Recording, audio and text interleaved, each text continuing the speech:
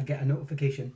So I'm going to just give it a few moments. I'm going to talk some gibberish, or as Scotland as we say, haver, uh, until we eventually get some uh, some people in. Although I know that there are a bunch of people waiting uh, to get in, which is great, and get some viewers. Uh, we are beaming this out now across uh, Facebook, YouTube, Periscope. Uh, directly, I said Facebook, Facebook, YouTube, Periscope, oh, and Twitch. And then as of tomorrow, I will also be running it out of Mixer, which is great. So if you're in and you're in any of the uh, the the the, um, the viewing uh, systems that have a chat ability, drop me a hey and let me know that you're here. I can see that there's a, a, number of people in already from across the platforms. It's also worth saying, and I will remind people of this as I go through the um, the stream, that we have different people commenting on different platforms, but I can see them all at once. And so if I start answering a question that you haven't seen in your platform because I'm helping another teacher or parent or student with a particular question, you might not have seen the question. And so what I'll try and do is I'll try and reflect the question um, before I answer it. Because this morning I had lots and lots of input, but some people didn't know why I was answering certain questions. So we'll just give it a few minutes to start. Um, and then we can um, we can go from there. Let me go back to the game though, because we really ought to be on that page. So when people start the stream, that's what they see. That's better, don't you think? I think so. Do you like my lights? My studio looks alright, eh? My little camera. So we, uh, I decided, it was actually only this weekend I decided I was going to put this together because I have been inundated with, uh because uh, of this whole remote learning, distance learning thing, I've been inundated with people saying, please, please, please help me to make sense of this Minecraft stuff. Hi from South Africa, from South Africa.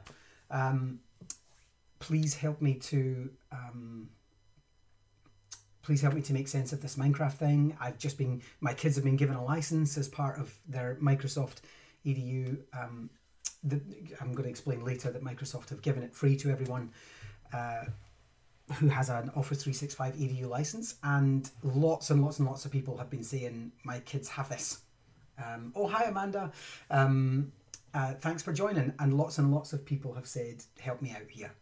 So that's what I decided to do. I just thought rather than, because I've had LinkedIn messages, I've had Twitter messages, I've had. Uh, you wouldn't believe it. Like people reach out to you in the strangest of ways. I think the only thing I haven't had is a Hogwarts owl for help, and my window's open just in case that happens. But um, but yeah, it's crazy, crazy how many ways in which people can reach you.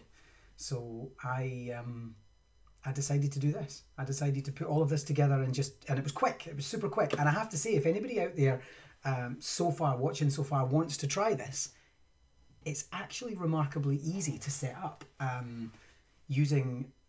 I mean, you could just do it with OBS, um, Open Broadcasting Software. It's a program, OBS, if you just Google that. Um, or alternatively, you could do it with just Twitch or Mixer and their own inbuilt um, streaming systems particularly Twitch, I noticed, has its own one, which is actually quite easy to set up. Uh, Twitch Studio, it's called. But I actually found something yesterday called Stream uh, Restream.io.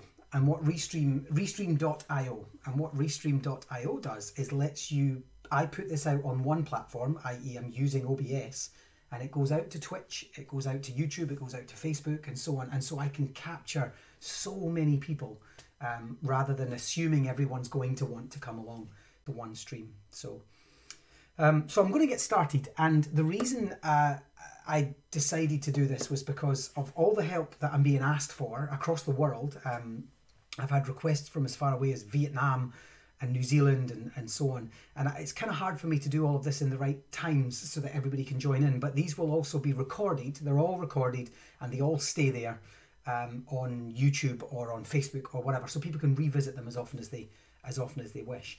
And what I want to do is basically over the next month, I'm going to go. I'm going to do two a day every day for a month. And while today's have been the same, uh, afternoon and evening, every day we'll have two separate ones, two different ones, and we're going to do everything. We're going to do everything from why Minecraft, what is Minecraft. Uh, today I'm going to take you through the settings of Minecraft. Um, it's not going to be the most exciting stream for the first one, but it's purely so that we get everyone to the same space. Everyone understands what it is, how to switch it on, how to deal with the settings, why it's important.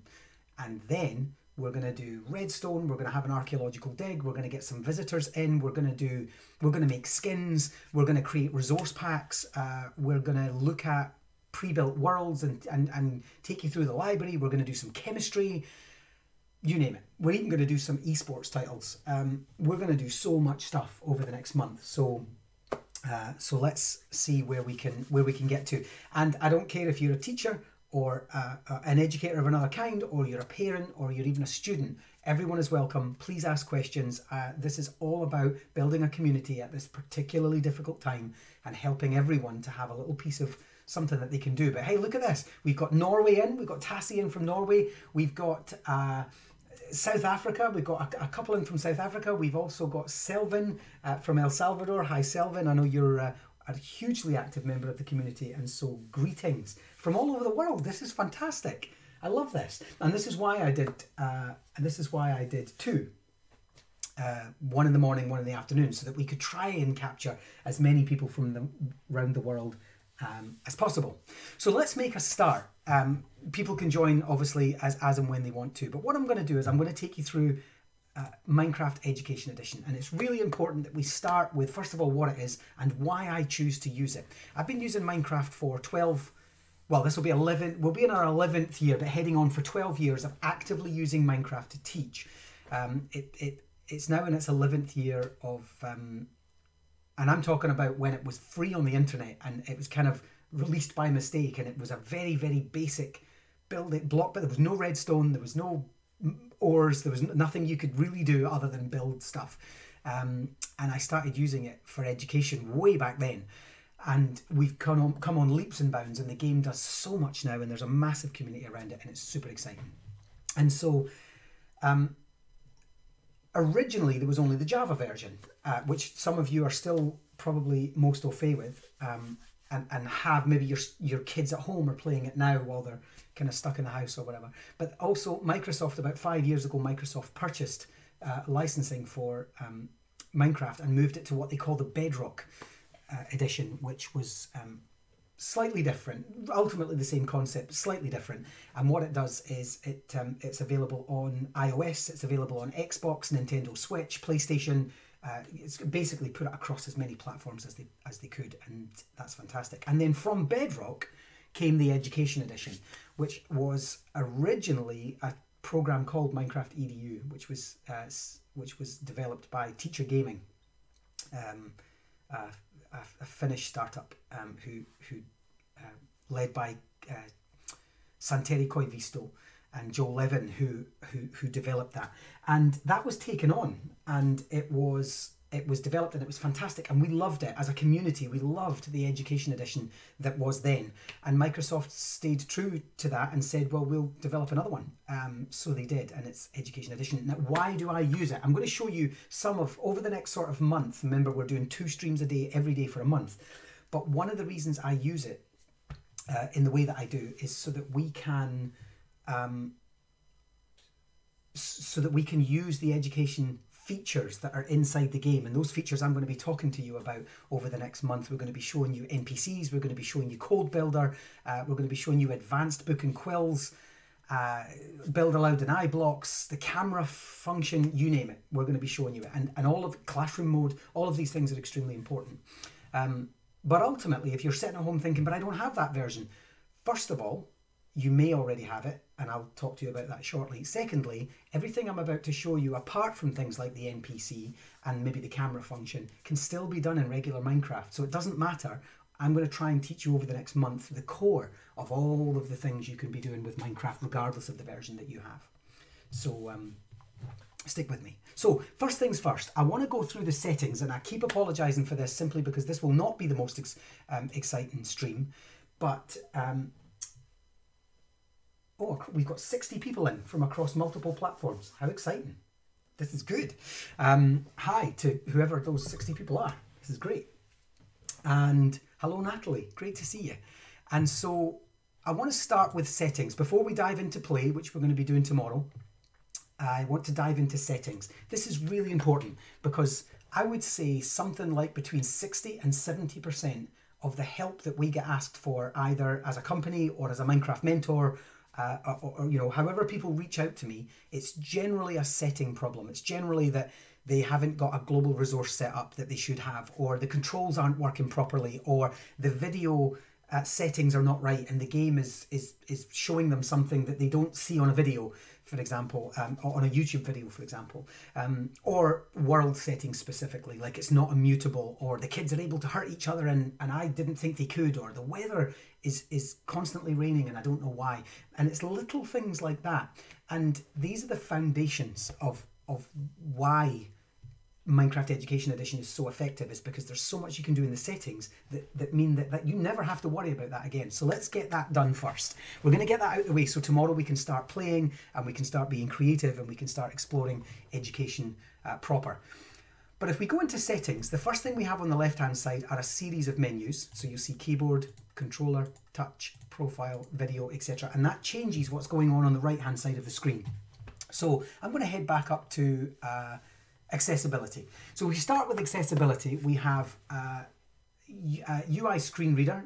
I'll be honest, I've never used that. I don't know what it is. Maybe we should explore it as one of our streams. Not this one, but let's explore it as one of our streams uh, later on. What I do and have used, and it's not hugely effective, but it certainly does help those who need it, is enable text to speech for chat. So if the kids are chatting and anything you put in the chat function is then kind of turned into uh, text to speech and it comes out in a kind of a semi robotic voice um, and you can pop that on. So just keep an eye on that. What's also worth mentioning, and we're going to do a whole stream later about the immersive reader, um, which is built in, which doesn't show up in accessibility um, because it's actually built into the game. But keep it, keep that in mind because we're going to do that later. Then we're going to move down to this is the the the, the heading is controls. And what's great about the Bedrock edition and significantly for the classroom, the education edition, is that you don't just have keyboard and mouse controls. You have controller and touchscreen controls. And you'll see there if we go to controller, you can change any of these controls and you can make those controls set up the way you want the keyboard and mouse, the touchscreen, and so on. The reason this is great is because we're working with generations of children that don't do keyboard and mouse. The number of times I'm in a camp or I'm at a school or a classroom and uh, I'm not sure if you can send me pics, Tassie. I'm not sure. Try it. I have no idea. Um, I mean, I would let you. I just don't know if you're capable of doing it. Um, although you're coming through Facebook, so you are. Um, and so the keyboard and mouse function is not always the preferred version. And I have kids come into me, and I'm always amazed. They come into me and they say, "I love Minecraft. Never ever played it with a mouse or keyboard." Which, of course, I come from a mouse and keyboard generation, so it's really just bias for me. And I say to them, What do you do? And they say, Oh, I play it on a touch screen. And I say, Well, that's great. We have touchscreen devices. We can set that up. Now, you might not, and that's a different different um, consideration. Um, but if you're using bring your own device, for example, that's fine too. Um, or they say, I use a controller. It's probably most common actually with a controller. I use an Xbox controller because I play it on the Xbox or whatever. And I say, good, well, bring your controller in. It's probably USB. We'll plug it in and you can set the controls up to be what you want. Something else that's really, really nice is the Xbox Adaptive Controller. If you haven't already seen this, check it out online. Go and Google Xbox Adaptive Controller, Microsoft Adaptive Controller.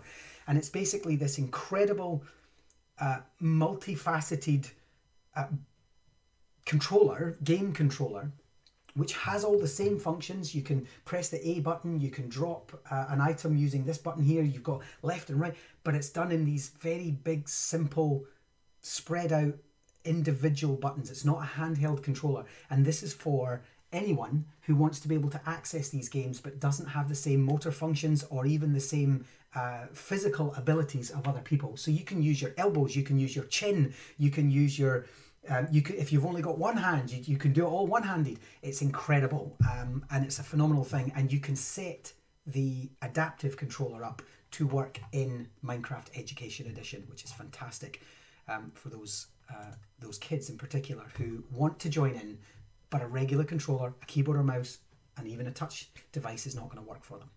And so, having done those, uh, looked at those three things, you don't really need to worry too much about this. I'm talking to the parents and the teachers significantly, um, because quite often they'll say, uh, a teacher will call me up and say, it's jumping when I'm supposed to be swimming, or I can't fly and I don't know why. And what we tend to find is that if you go down to the bottom and click default settings, somebody's changed something.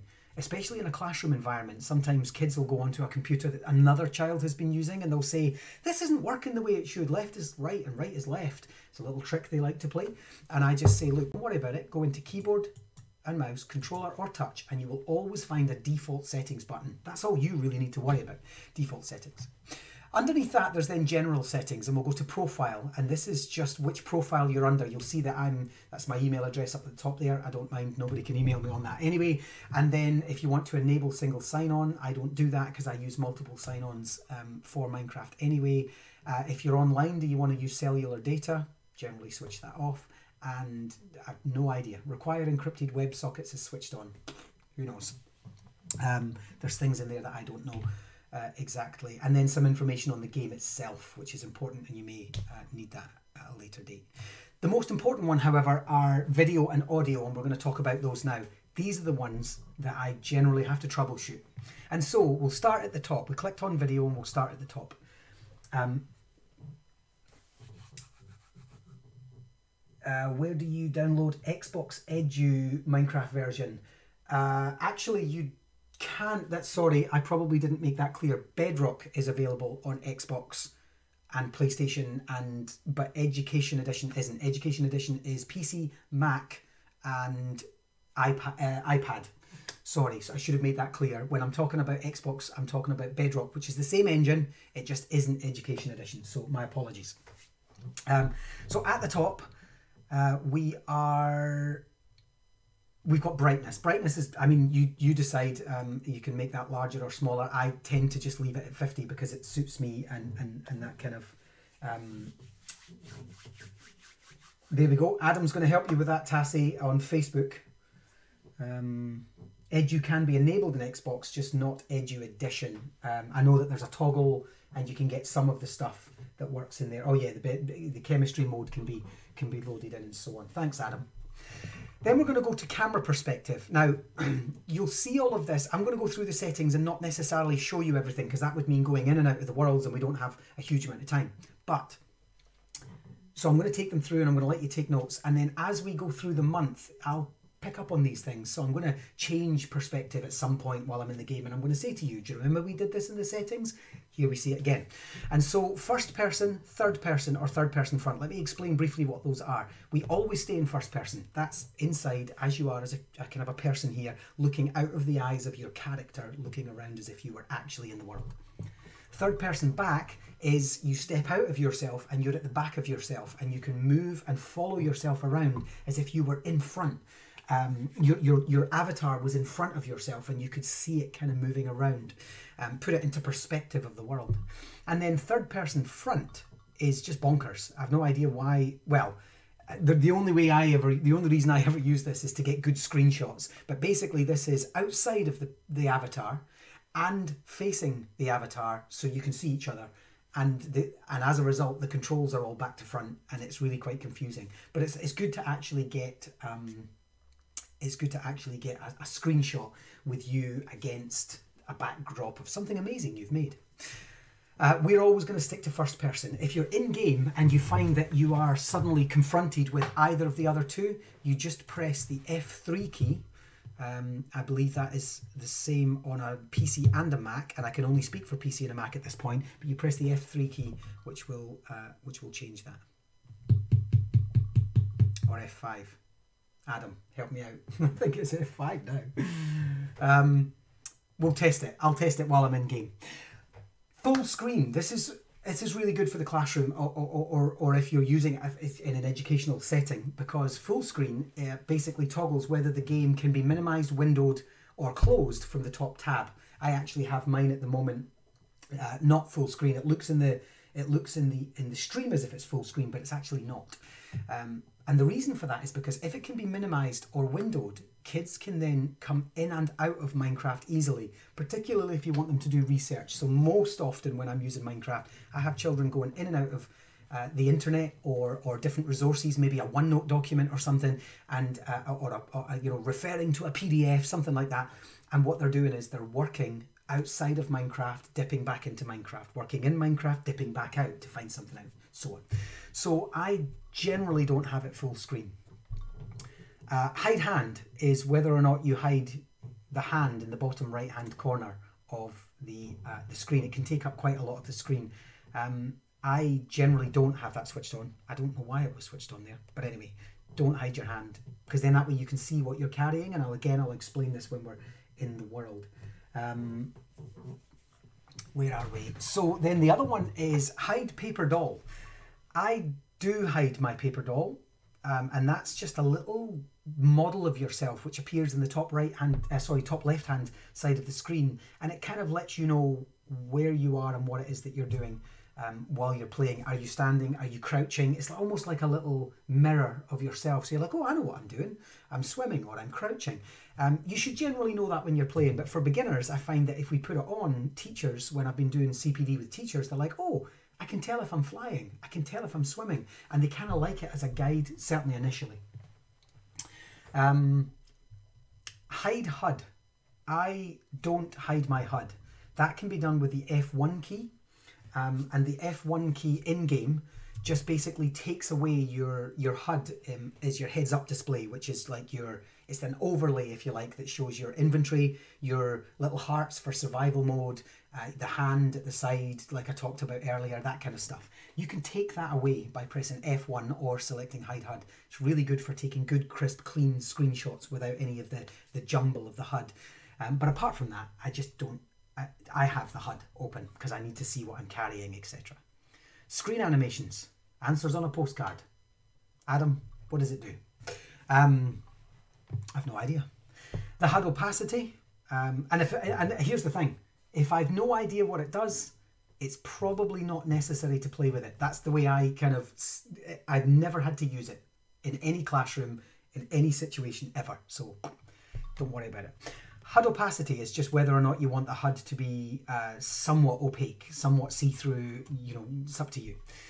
Um, change screen safe area is just adjusting to your you'll find that you can make the screen slightly larger or slightly smaller um, you probably don't have to worry about this. It, i've only ever had to play with it once and that was to do with video recording.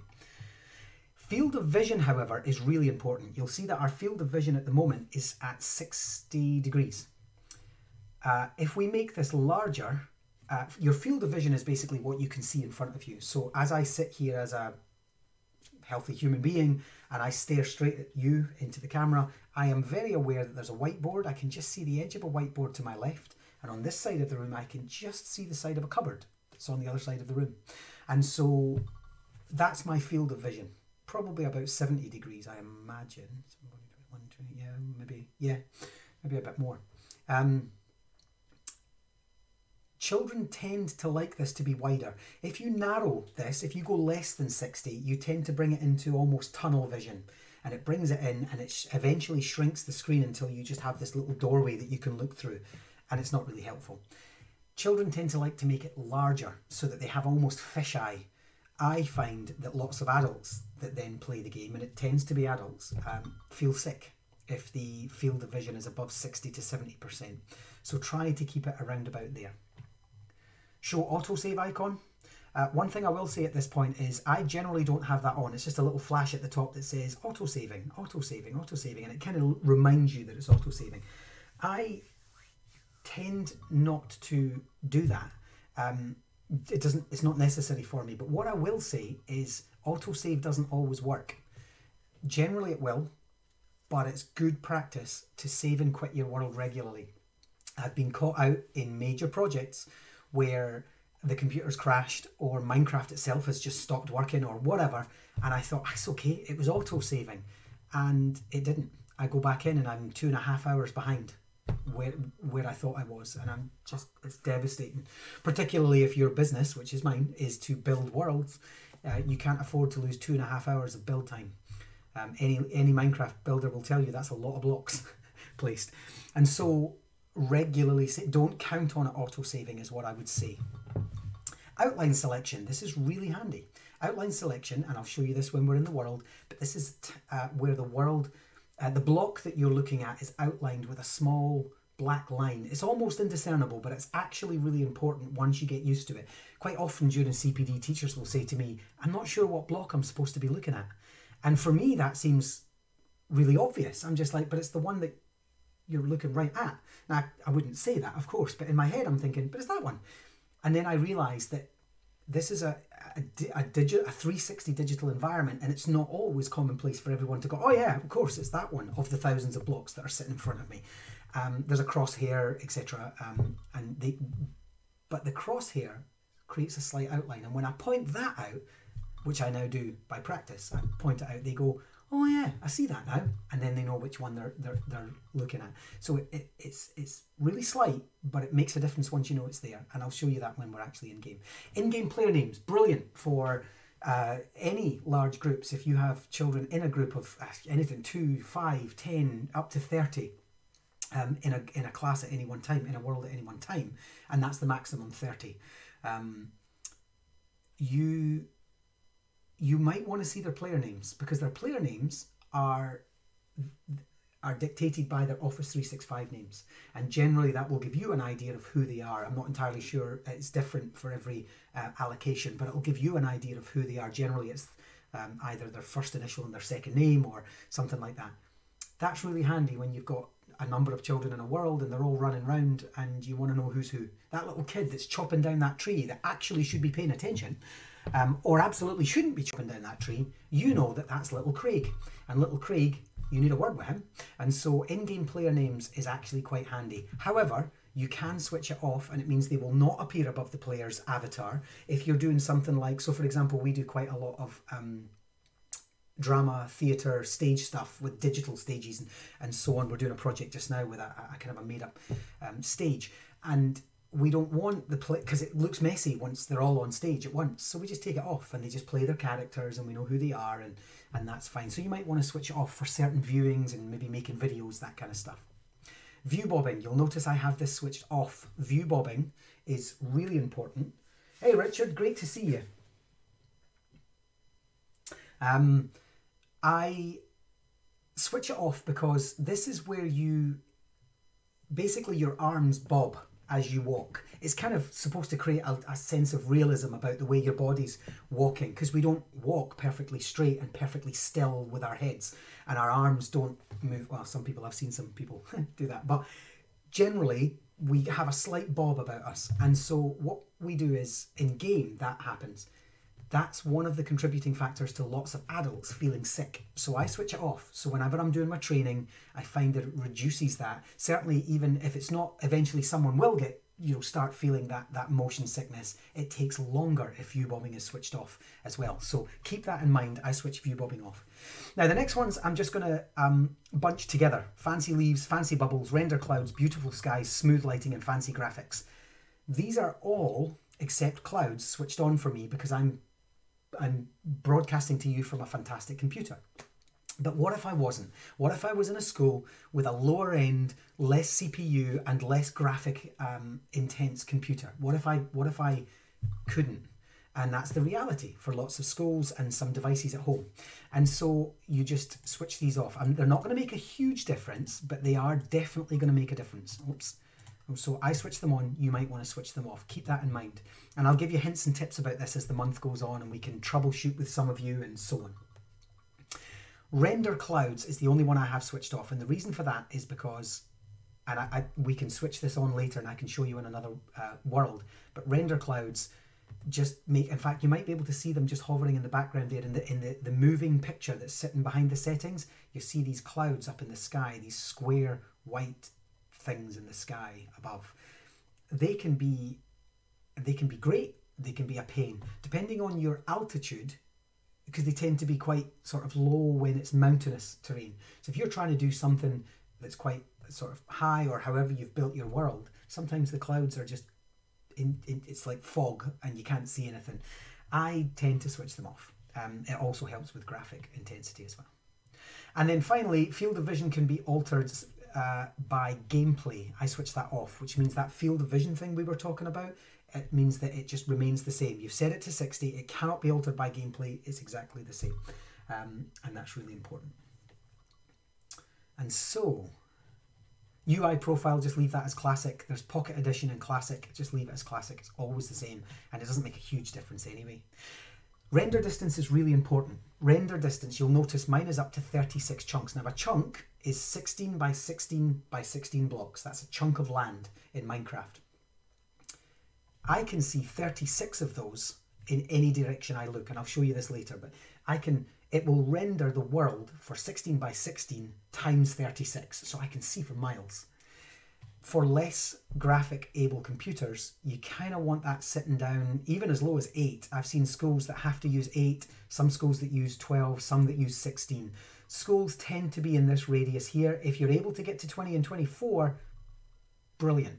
Um, you know, good computers, gaming laptops will take you up to 36, 48 and, and further. Um, Particle render distance. Particles will also help. Particles are the little special effects that you get in Minecraft. Things like the droplets of rain, not the ones that fall, but the ones that splash up um, once the raindrops have hit the ground. Or potions. If you throw a potion and you throw it and it affects somebody, they get these little swirly particles around them. And it's beautiful. Um, it actually looks great. And the smoke that comes off campfires, etc. But actually, it can be graphic intensive.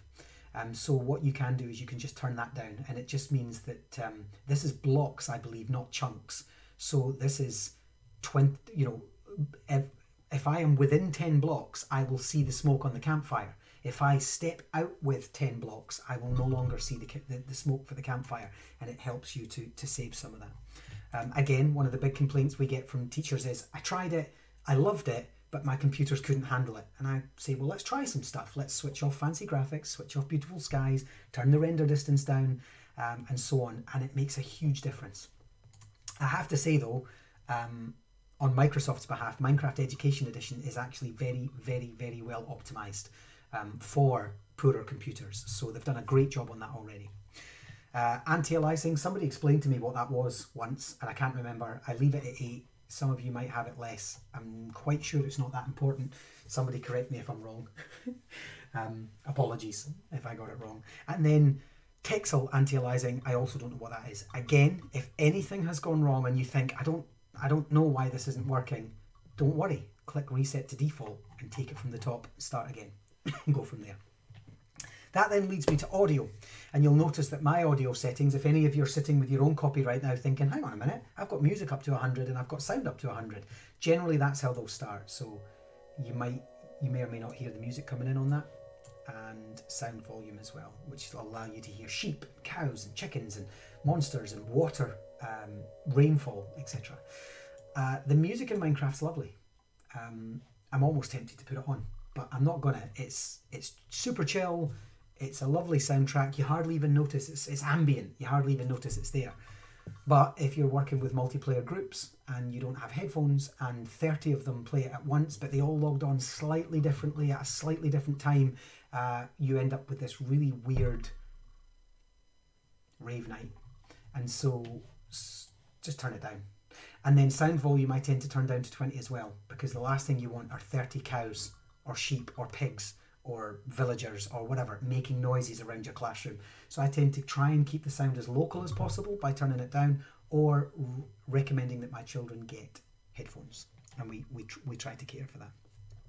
Global resources, I'm not going to talk about just now. We're going to talk about that as an, a whole um, stream, and I'm actually going to bring in some experts on that. We've got some incredible builders around the world, some of which are, are watching.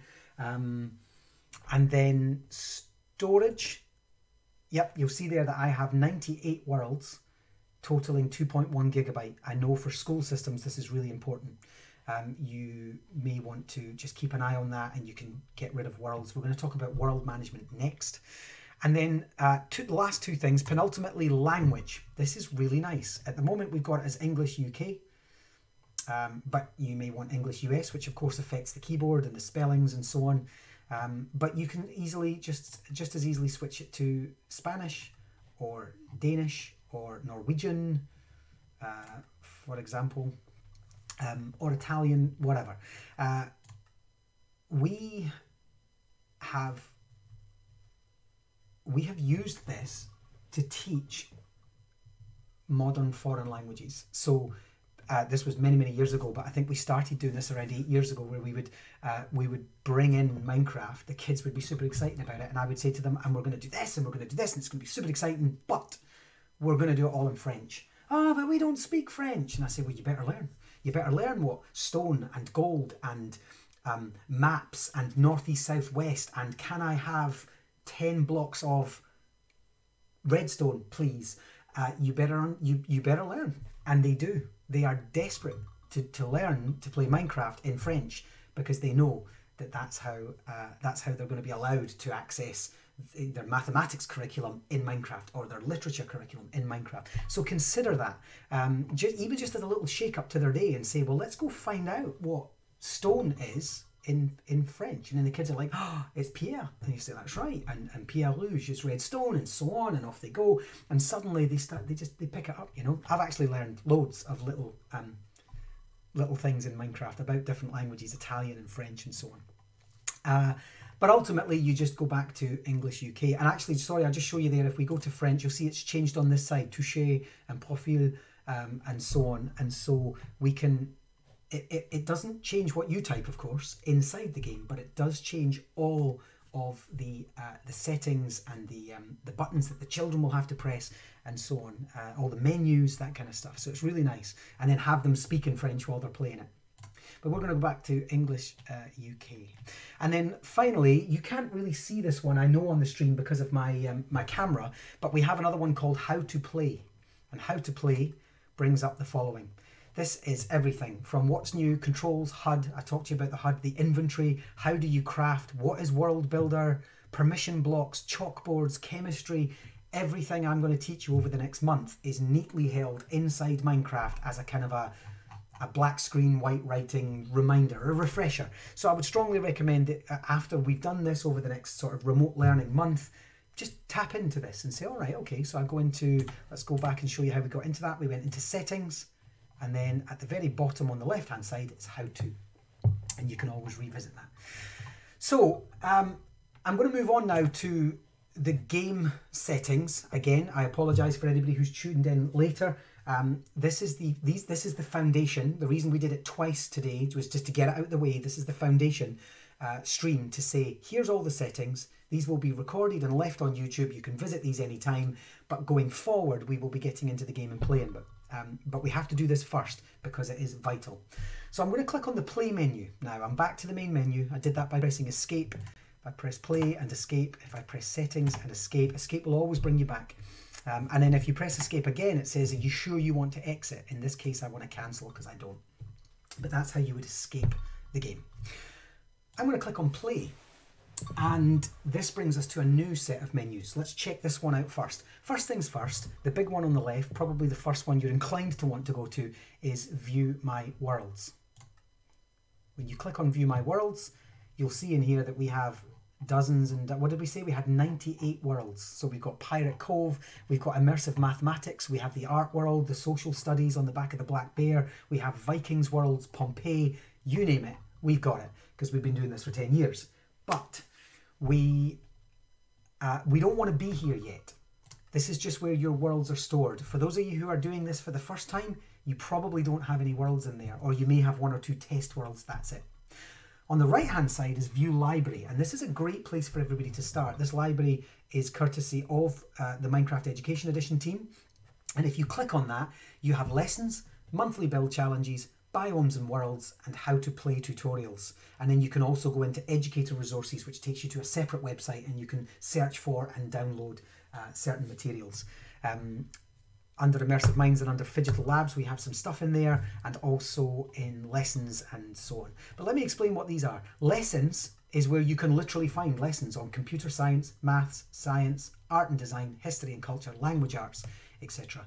Um, if we click on computer science, you'll see that there's an hour of code one that you can try, or a coding course that you can try. If we go into maths, you'll see that there's Common Core Grade 3, Grade 4, um, there's uh, Grade 5, there's fractions, there's additional lessons. If we click on that, it'll take us to additional maths lessons. Oh, we're unable to connect you to the library. This can happen if your computer is offline. Definitely not offline. Um, so apologies for that. And then if we go back to science, we can go in chemistry, biology. We are the Rangers. That's one that we've uh, we've published. Uh, Extinction Biodiversity Crisis, remarkable. Check out the orangutans in there, and then also additional lessons uh, there also. And so that's a nice place to start with your lessons if you want uh, to, to, to go in there and say, actually, I'm just going to pick a maths lesson and try that. And here is monthly build challenges. Oh, I'm st- still thinks I'm not online. Or if access to the library catalogue is blocked. Well, would you look at that? Um, any feedback on that? Let me know because I've never had that issue before. Um, but your monthly build challenges are introduced every month by the Minecraft Education Edition team, and they are um, they're brilliant. They're just little challenges that you get your kids to do. And actually, I think in this time of remote learning and, and, and kids being stuck at home, that would be a great thing to tap into and say, well, what are the challenges? And there's a library of them, but every month there's a new one added. So check that out. Um, however, the one I like the most, apart from how to play, which I think goes without saying, if we click on, there's starting tutorials and some additional tutorials in there as well. If we go into biomes, biomes is where I point teachers at the most, because quite often a teacher will say to me, I had one recently actually that said, I want to do this. Um, yeah, I'm not sure, Adam, if it's the firewall. I, have never, I've never had a problem from home. I'm, I'm streaming from home, and I've never had a problem with that before. But I'll check it out. It's maybe because I'm streaming, and it maybe there's too much going on. I don't know, um, but I've never, I've never come across that before. So that's that's new for me tonight. Let's troubleshoot that, you and I. Um, but with the biomes, this is where I, po- uh, I point my my uh, my customers at mostly because quite often, just recently, I had someone come to me and say, "I'm doing plastics in the ocean." And I started this world and I can't find an ocean. I've, I've gone for miles and I've gone over trees and hills and I found a big giant lake, but it wasn't the same. Um, and so on. Or I'm looking for a really good coral reef because uh, we're doing the, the, the, the, uh, the death of the coral reefs in, in, in Australia, for example. And so what I say to them is get on the library, go into your game, get on the library and go into biomes and worlds. And if we click on biomes, there we are, I'm allowed in there, which is interesting. Um, you can see there that there's badlands, there's deserts. Down here is the ocean biome, and we can have an ocean biome if we wish. Uh, we can go to the jungle. Say you're doing deforestation in the Amazon. Just download the jungle biome, and it will take care of the environment for you. And in the streams that I'm going to continue to do over the month, we're going to be looking at one of the streams will be focused on the three magic ingredients of making truly relevant, meaningful, engaging lessons for your students. The jungle biome um, is just a part of that. It's the environment. Uh, the ocean biome is the environment. The forest biomes, the environment, and so on. You might want the savanna because you're doing uh, conservation, for example, and you want to do that. Swamplands and so on. There's your warm ocean biome um, in there. So let's take that. Let's see what that looks like. So I say to myself, right, I know I'm going to do this coral reef. So I'm going to click on that. And it will tell us up here, it's this is what it's called, this is what size it is, a little description of it. And then what we can do is we can click create world and that will now take me back out and it will take me directly into that world. All you can play with the settings later, but here we are.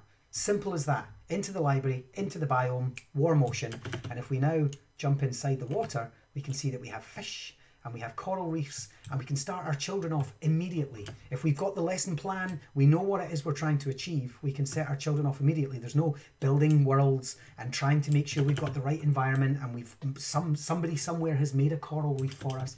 It's been done. Um, and so on. We can then go into settings in game and we can change some of those things that I'm going to show you later. So we can go, I'm going to show you next. So I was like, actually, I needed coordinates and I wanted it to be always day. I don't want it to be nighttime, for example. And you can do that once you're in the game. When you're finished, click save and exit. And what will happen is, great to have you on, Adam. Thanks for joining me. If you go to view my worlds, you'll notice that warm ocean biome was the last world I was in. So that's now stored. You don't have to go back to the biome list. You don't have to go back to the library. Warm ocean biome is now yours. It's your version. It's stored locally on your computer. And that's actually worth saying. These, can, uh, in fact, just tonight, Emma Nass in, in Sweden said to me, we're going to be doing some uh, remote learning, but my children how do they get their worlds from their computer because they're, they're locally stored in school and so your worlds are locally stored i will be doing a whole stream on managing worlds later but super quick if you click on once you click on this rather than play you would click on settings and go right down to the bottom and you have what's called export world. You export it as a single file. This is a .mc world file. Stick it on OneDrive, stick it on a, a memory stick, email it to someone. We've emailed them loads. Um, use a VLE to, to kind of put it out there. Um, if you're a Scottish teacher and you're using Glow, stick the worlds on Glow in a small library so that other people can tap in and then people can download them from there. Kids can get access to them at home. What they would do at home is they would add to it. If they were doing homework, for example, or remote learning, they would add what they wanted to it, then they would re upload it. And when they get to school, they would download it again. And you just have that cloud um, in, the, in the middle or that memory stick in the middle. Um, so otherwise, they're, they're hosted locally, so you need to know how to export. But we'll do all of that properly as a whole stream um, eventually. What else is on this page? Create new, that's where we're going next. Um, join world, which is if you are going to join a multiplayer world, we're going to have a whole stream later this week dedicated just to multiplayer.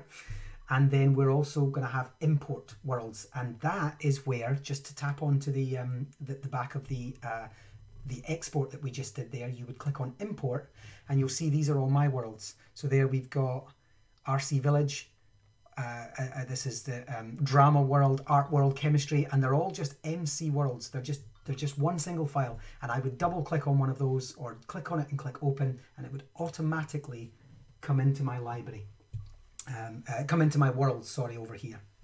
So what we're going to do next for the remainder of this stream, and this stream is all about settings, so forgive me if uh, if this is stuff you already know, but it's the foundations. It's really important. We're going to go into uh, either create new, or if you go into view my worlds, you'll see there's a new world setting up there. But we're just going to get into the habit of doing create new. And you'll see that there's templates you can download. We'll talk about those another time. In fact, we saw most of them um, in the biomes and so on. But if we click on new, we're taken to the create new world settings for a new world. And this will, by the time we're finished this, this will lead us nicely to tomorrow's stream at 12 o'clock noon GMT, which is getting into our world and playing WASD, forward and back, uh, uh, uh, um, jumping, flying, um, you name it, uh, orientating, using the coordinates, everything that we're going to do tomorrow. So on the left hand side here, similar to the other settings page, you've got play or host. We're only going to use play, but not yet. We've got, uh, and we're also in the game settings at the moment, so you see that there. And we also have resource and behavior packs, which we'll talk about later in the month. We're going to do two streams. I'm just reminding everybody who's on. We're going to do two streams every day for a month, and every stream is going to be different. Unlike today, this was the foundations. As of tomorrow, every stream, morning and afternoon, different, different, different, and then they're stored on YouTube for you to come and visit again. So we're going to call this uh, world. Um, testing. I cannot express enough how important it is to name your worlds. The number of times we get contacted with a, an email or, a, or, or, or even just a, a direct message on Twitter saying, Stephen, I can't find my chemistry world. I've got seven, 17 worlds and I can't find my chemistry world. Help. And I can't help you because if you didn't name it chemistry or my chemistry world or whatever, I can't help you. Um, and that's really more important when you're dealing with 30 children and they're using, and they've got seven different worlds. So get into the habit of finding a naming system that you enjoy, a naming system that works for you and your students. And then, um, so quite often when we're working with our development teams, we do 0, uh, 0.0.1. And that's, and if we make, say I give that world to someone and they make an adjustment, they do 0.0.2, 0.0.3. Every change, I say to them, rename the world, export it, send it back to me. And that, and that generally works. Um, once we're ready and it's finished, it gets a full name and it just gets 1.0 and that's it. It's done. I know that that was the finished version that the, the student sent to me. I say, when you're finished and you know that all of your work has been done, name it 1.0, send it to me. That's the one that I work with or that's the one that I mark, for example. Um, otherwise, at least give it a name that's identifi identifiable from all the others. Default game mode. When your children enter this world, or when any of you enter your world, what is the default game mode? Survival mode or creative? Survival is exactly what it says. You have to survive. Uh, monsters will kill you. Gravity will kill you. Um, well, it's not gravity that kills you, is it? It's the thump um, as you hit the ground. But the, you know, falling will kill you. Um, lightning will kill you, you will drown, etc., etc. So you have to survive against the environment and other players or monsters. Creative is the one we generally choose. I never, ever, ever make worlds lessons in survival mode. That's not to say that my students don't experience survival lessons like our Scottish uh, Border Reivers world where they fight against, the, they become part of the Border Reivers um, and we teach the history of Scotland, or our Viking clan world where they they, they, they raid as Viking clans and, and, and they see um, how much they can read and what that was like to, to you know clothing, culture, currency, language, food, religion, you name it, it's all in there. Um, that they do that as, but I don't build it as uh, survival. And then finally, uh, so that's sorry, so that's um, that's creative mode. And then moving on, sorry, to difficulty. In difficulty, we have four settings, but I want you to imagine that it's only two. I want you to imagine that it's peaceful, and then there's a little line there, and then it's easy, normal, or hard. And what this means is, will if you have monsters, well, will you have monsters? And if you do, will they be easy, normal, or hard? Peaceful means no monsters. And that's what I generally build on. I don't need zombies and I don't need skeletons and I don't I don't need any of that when I'm building a lesson. I'm building, you know, the fall of Constantinople and I want to build the broken wall where the the um, uh, the breach was made with some signposts and I don't I don't need zombies while I'm there. Or I do need zombies because they're actually going to be the enemy. They're going to be the the Turks on the inside of the wall, for example, and I need them to be on easy or normal or hard. Who knows? Uh, whichever I decide that I challenge I want for my kids.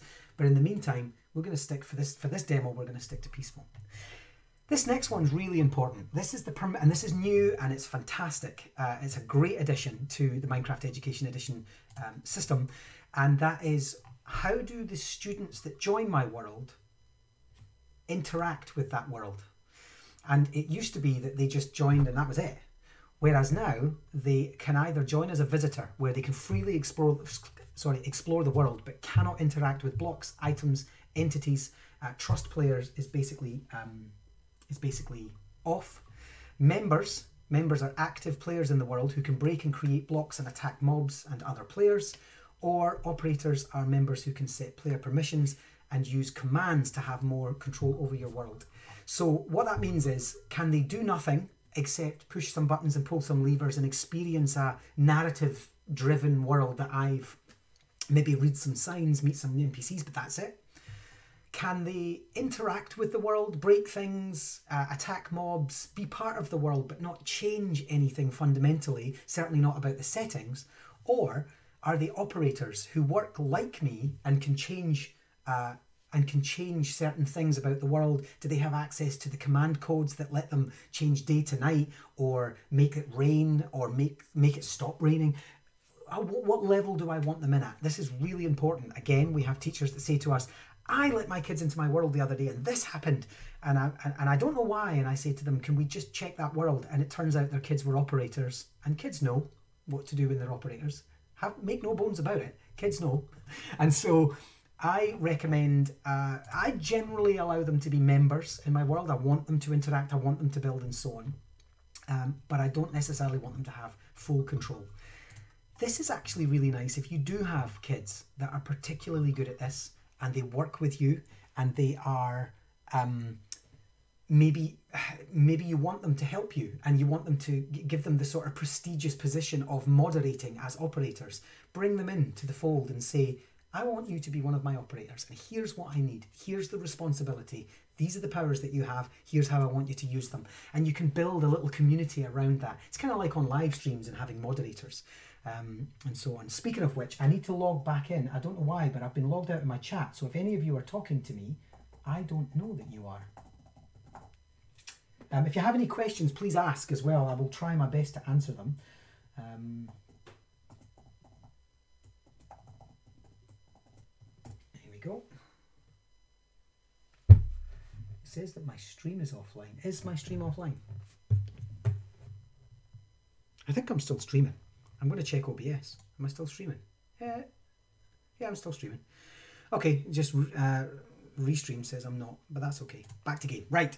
So let's stick that on members uh, uh, and, and, and leave it at that. Now, world type, flat, infinite, or old. This is really important. A flat world is exactly what it says it is. It's an entirely flat world. Oh, I know what it is. I've lost the internet on my uh, my other PC, so that's fine. Don't worry about that. It just means I can't see your chat for the moment. Um, flat world is exactly that. It's a flat world uh, made up of four layers. It has one layer of bedrock, two layers of dirt, one layer of uh, grass, and that is it. It goes for miles. And I'll, what I'll actually do is I'll call this testing flat, and we'll explore that in a second. This is actually why would you use this? This is what I call my canvas world. It's a huge flat canvas, like a big piece of paper. And I say to the kids, um, we're going to do, see DNA. We're going to do DNA and, and we're going to build, we're going to explore and research what DNA looks like. We're going to look at the double helix and then I want you to build a 3D model of it in Minecraft and then label it and show me why all the parts are distinct and why all the parts are important and so on. And the kids are like, yeah, we're going to do that. And then I say to them, and we're going to do it on a flat world because what I don't need are children distracted by trees and mountains and holes in the ground and they, oh there's a cave and off they go. I don't need that. I just need them to be in one uh, one space with no distractions. Um, and so before i go any further let me show you what that looks like. Play and you'll see exactly what i mean. There we are. Big flat world with some animals which i can switch off of course but if I dig down one, two, three, four, and then I fall through, I literally fall underneath the earth. It's a hole in the ground. Um, and of course you don't want to do that, so we can just put that back. And then that grass will eventually grow back. Um, and so, uh, as you can see, they can wander for miles and there is nothing for them to do. And I love that. That's actually a really, really, really helpful um, function. Save and exit let's go back into uh, let's get into the habit of clicking create new new and let's call this one testing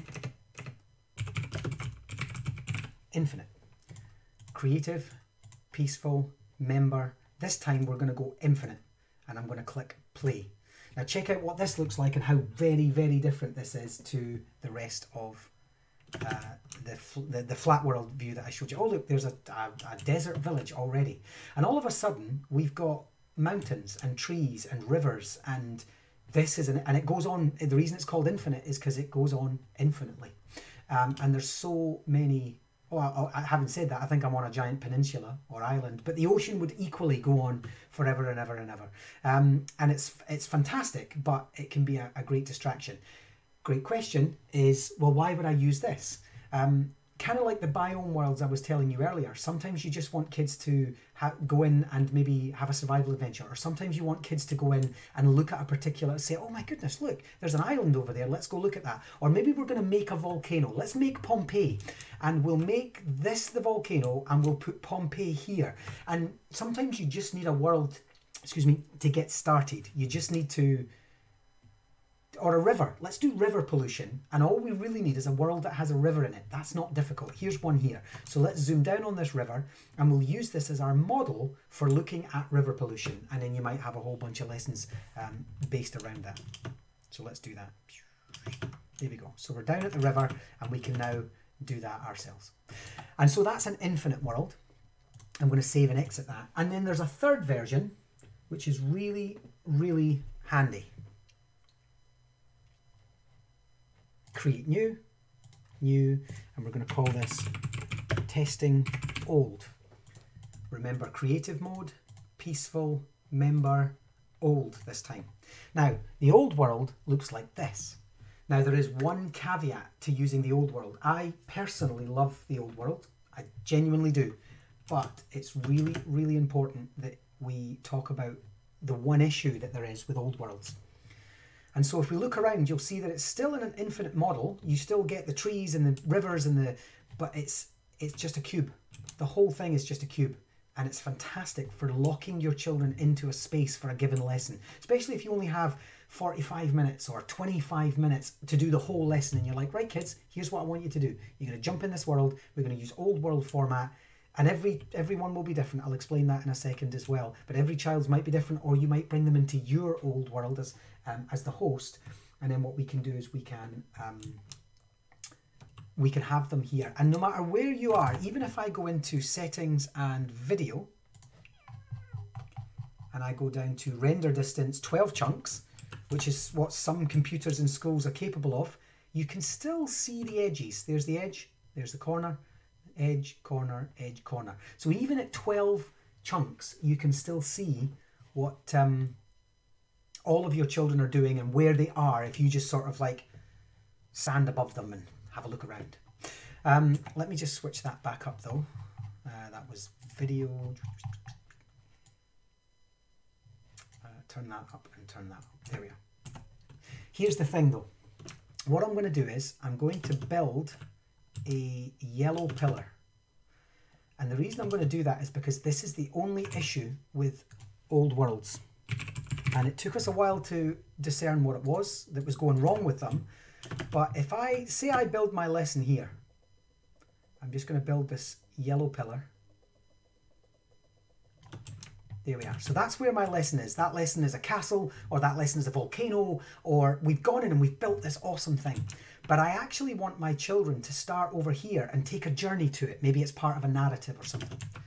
Now, you can do a thing in a game called set world spawn. If I just do forward slash set world spawn, that means that I will set the spawn world to where the, the, the, starting point of that world to where I am standing, which means anybody who goes into that world new starts now, okay, in that position.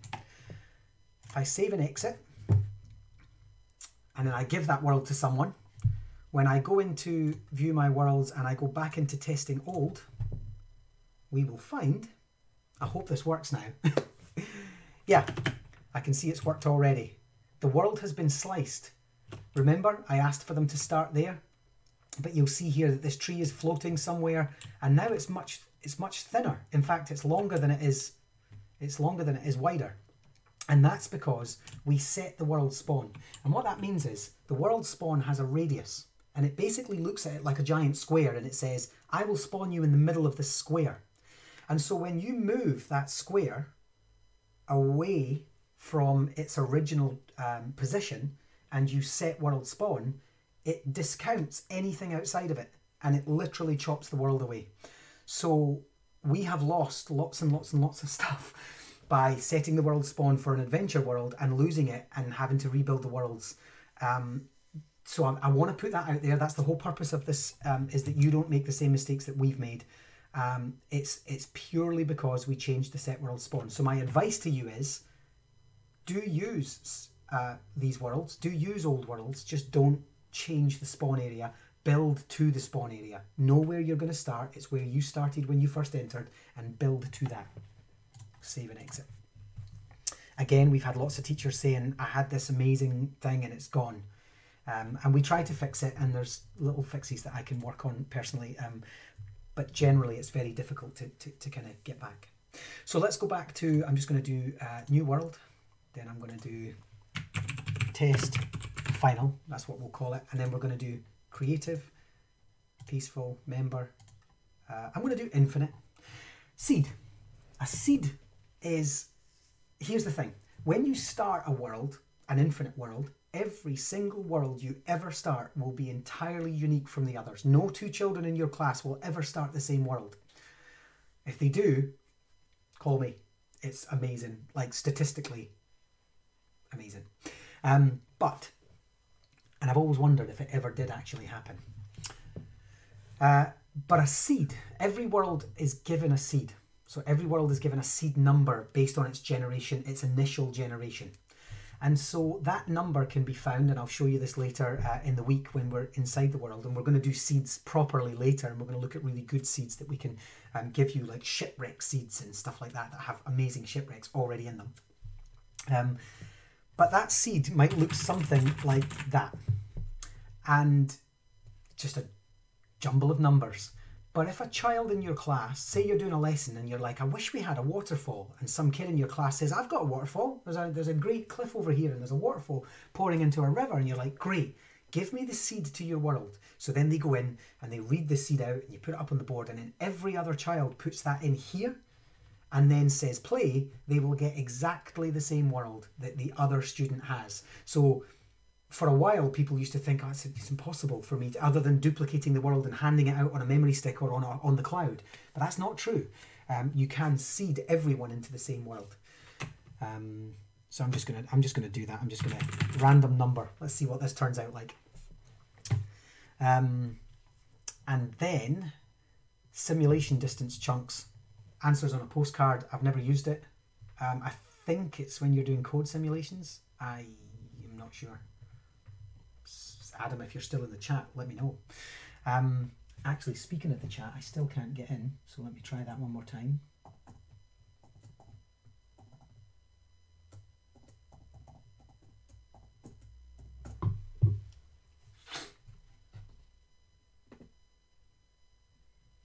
No, that is just not working. That is just not going to let me in at all.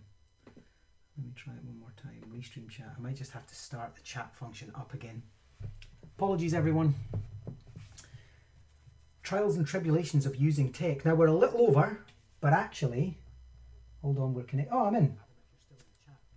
Yeah, the class environment. PC.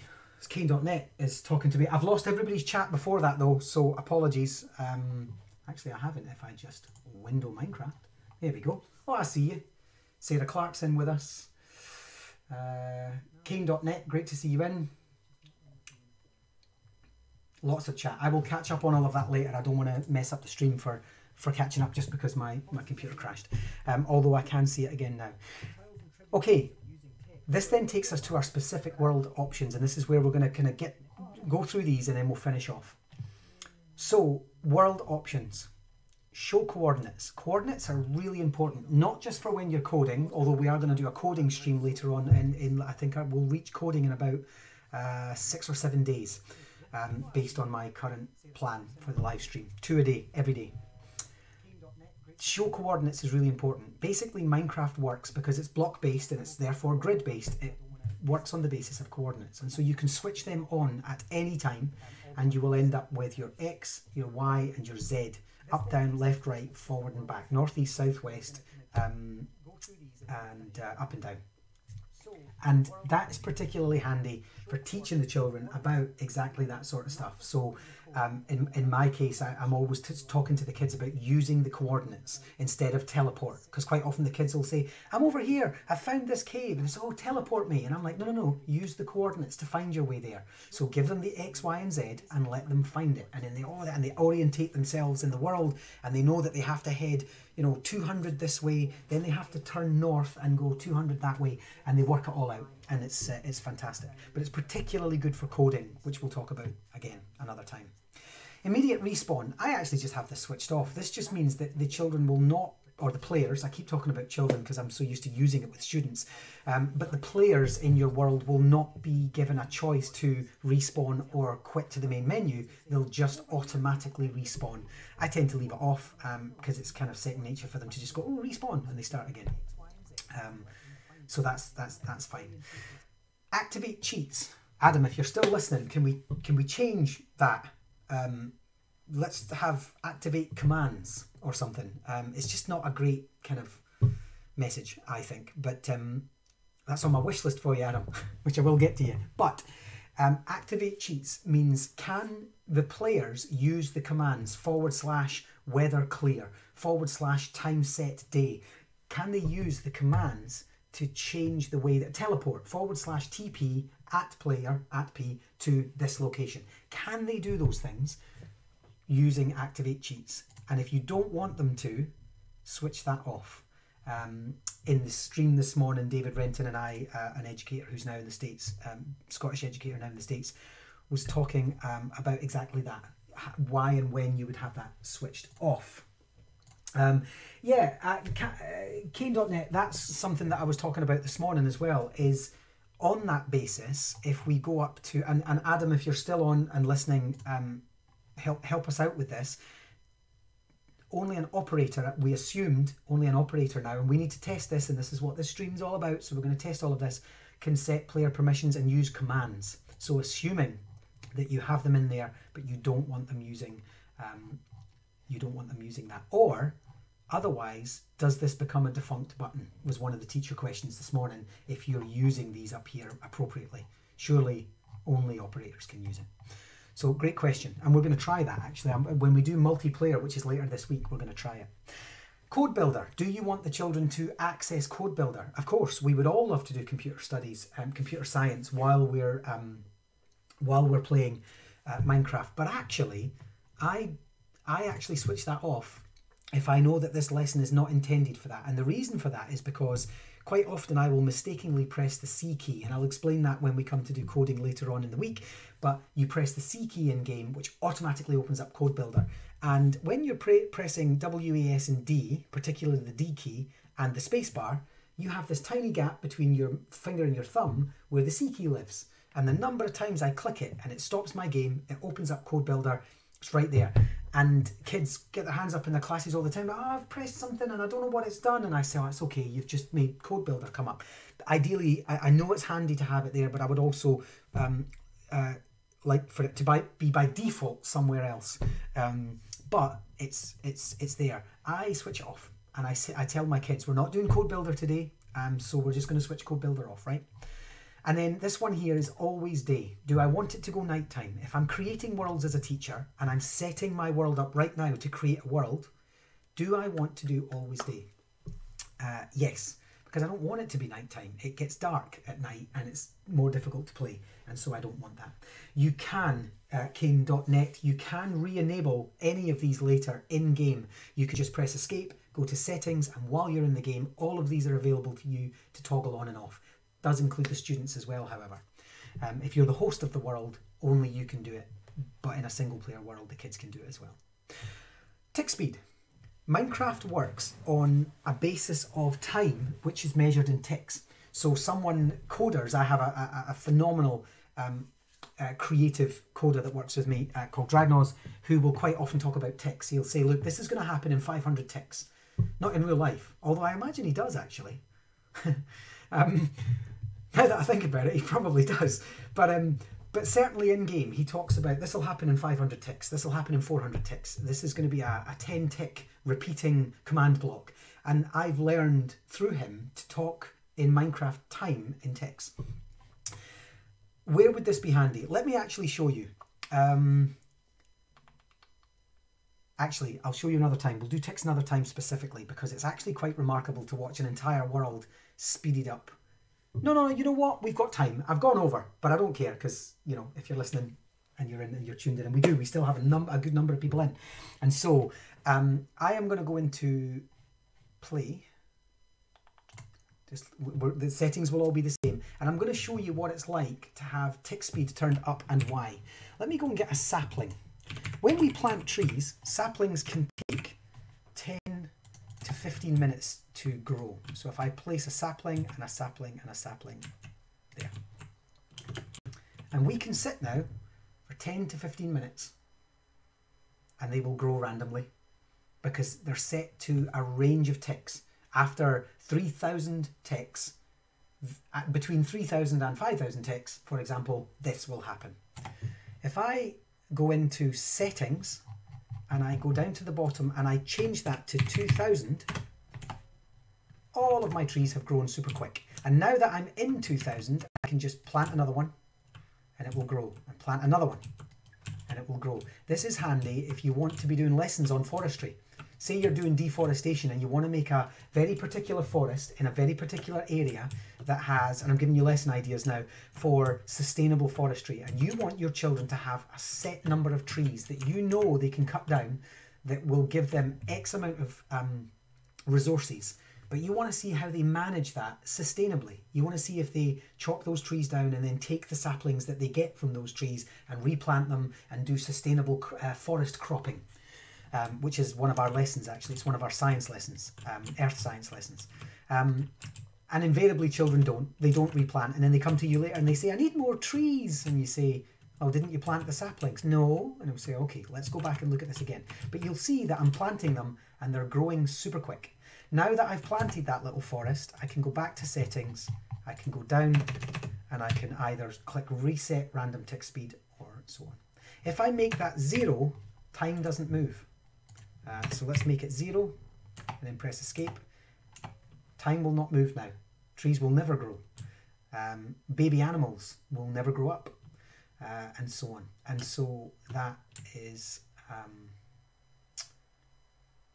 yeah, that's well, that's that's ra- random tick speed, which I find it handy. But I imagine as a beginner, you might at this point be thinking, "Oh, I'll come back to that. I, I don't know what I'd use that for um, at the moment." So let's let's come back to that, and then save and exit, and then I'll finish the settings. My worlds, uh, test final settings. Right, this is us back where we were. And then what I'm going to do is I'm going to go down to this last one, which is show classroom settings. And this opens up another little collection, which is our final collection before we finish. So, perfect weather. Do we want it to rain? And when you live in Scotland, any toggle that offers you perfect weather, you click. That's all I'm saying. Um, yes, I don't want it to rain. Rain is noisy and it's a pain in the it's a pain in the bottom. But when you're playing and it's distracting and it's noisy and you, you don't want it. However, here's the thing. You might need weather.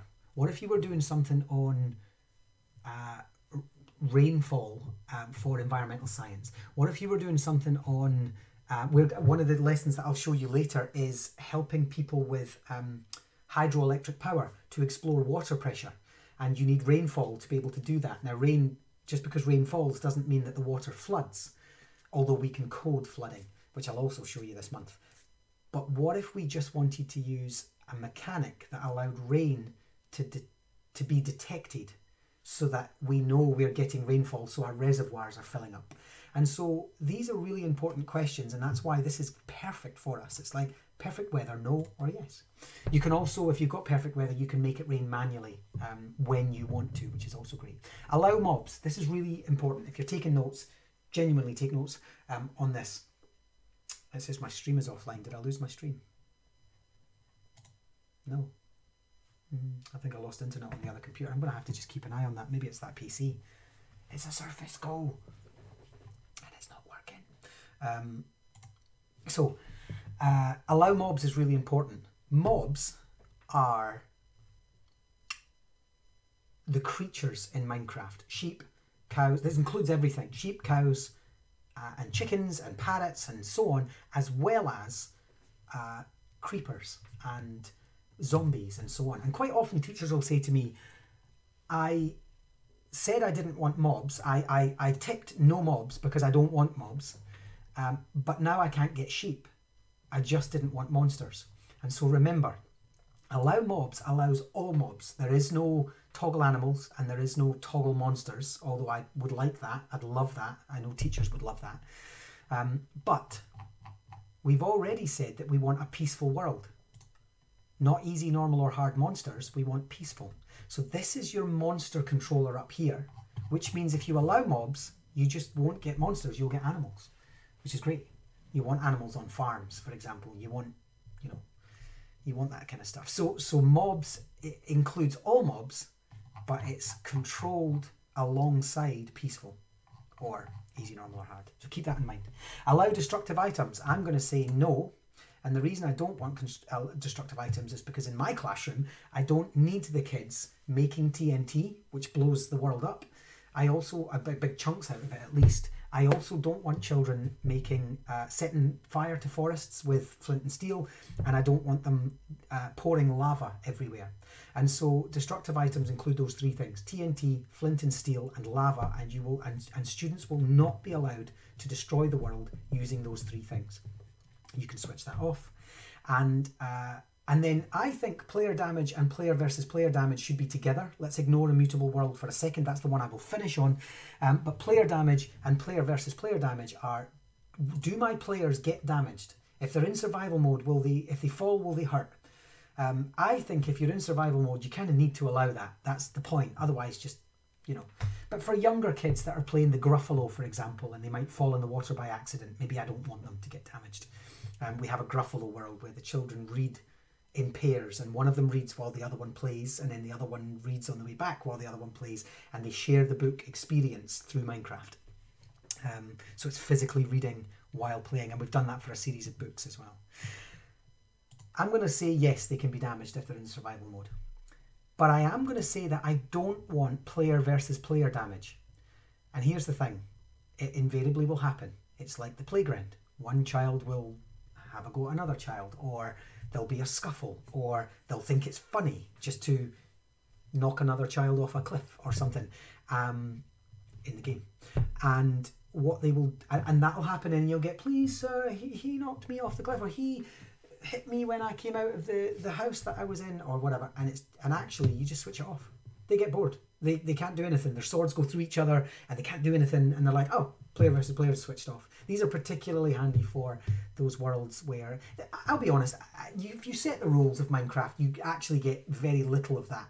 Um, I've found you get very little of that. And you know what? If you're getting that, your lesson's probably not doing what it should be doing. Let's be honest about that. Your lesson's probably not doing what it should be doing for all of the children in your class. And so maybe we need a different tact, maybe we need to change the groups, maybe we need a different pedagogy, maybe we need a different world or lesson. Um, I, I, very, very rarely ever have that. Um, but if you do, switch player versus player damage off. And then finally, immutable world. That just means can the world be mutated? Can it be built upon? Can it be destroyed? Can your children do something with the world? Um, and the answer is um, if it's switched on, no, they can't. If it's switched on, uh, off, yes, they can. So let's try that. This is the last thing I'm going to show you. So let's switch immutable world on and press play. So I'm going to go in. And then the first thing you're going to notice is that I can't do anything. I can't place. It's giving me this sort of like block, block uh, blockage block. I can't place any trees. I can't destroy. I'm going to go and chop this tree down. I'm not allowed.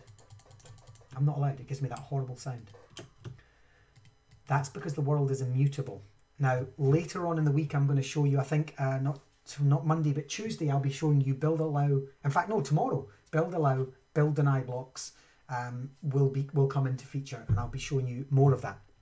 But at the moment, we can't actually build. If we go into settings and we change the world, show classroom settings, immutable world off, we can plant again and we can destroy again. And so we can set worlds. So take the Gruffalo world that I mentioned earlier. The Gruffalo world is built in such a way that they can't destroy the forest because the forest is very cleverly linear. So they walk and they follow a linear path where they've been blocked um, to, to follow that path. What we then do is we give them areas using allow blocks where they can build. Otherwise, there's nothing they can do. Um, it's and there's also a code for it. So if I just do immutable world true, press enter, the children can't do anything. They can just follow the narrative, press some buttons, pull some levers, that kind of stuff. Um, and we'll do more about this later. Immutable world will keep coming up because a lot of the worlds, when I start going into the lessons like Pompeii, for example, or the Vikings lessons that we've done, um, and mathematics lessons, a lot of those worlds are immutable. And we'll explain why and where they can build and how they can build and why that's appropriate. So I'm just going to save and quit there. This, uh, the whole point of today's morning and afternoon um, streams were so that we could get through this part. We could get through the create new worlds, we could view the library, we could check out the settings menus, we could understand where we might need to be if our computers weren't playing it properly or were struggling with it, what would happen if the controls had been damaged uh, or changed along the way, language settings, etc. All of that was important today. Tomorrow, we're going to start with playing the game. What are the basics? What do you need to know? What does a world look like? How do we start building? Let's build something together. So I would advise anybody who wants to take part, and I'll put this out on social media as well, bring your devices. And even if you don't have Minecraft Education Edition, you will have um, access, I assume, to Java or Bedrock or something, and and play alongside me, and we'll build things together. I'll give you instructions on what to build and how, and I'll give you visual cues and so on. Um, keep in mind though, if you're if your children, if you're a parent watching from home or you're a teacher at home because of the remote learning um, uh, coronavirus incident, keep in mind that Microsoft have very generously opened all Office 365 education accounts up to Minecraft. So if you didn't have it previously, you definitely have it now. So you just need your student's Office 365 accounts, um, or certainly your Office 365 account and their passwords, and your students can join us as well at home. And later on in the month, we are going to have student lessons where we're going to be building with students. We're going to be building with some of our uh, favourite teachers who kind of work with us, um, artists, coders, a whole month, every day, twice a day, Minecraft Education Edition. Thank you very much for listening, and everybody stay safe and healthy. Thank you. Bye.